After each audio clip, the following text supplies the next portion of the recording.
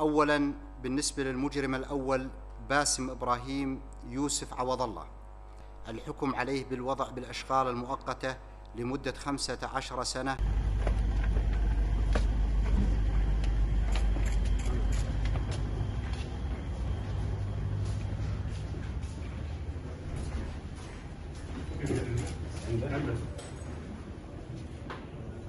بالنسبة للمجرم الثاني الشريف عبد الرحمن حسن زيد حسين آل هاشم. الحكم عليه بالوضع بالأشغال المؤقتة لمدة خمسة عشر سنة.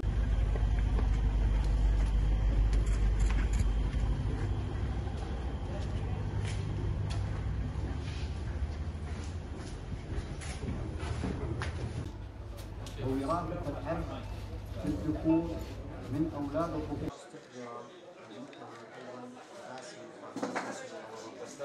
العقوبة عطفا على ما جاء به.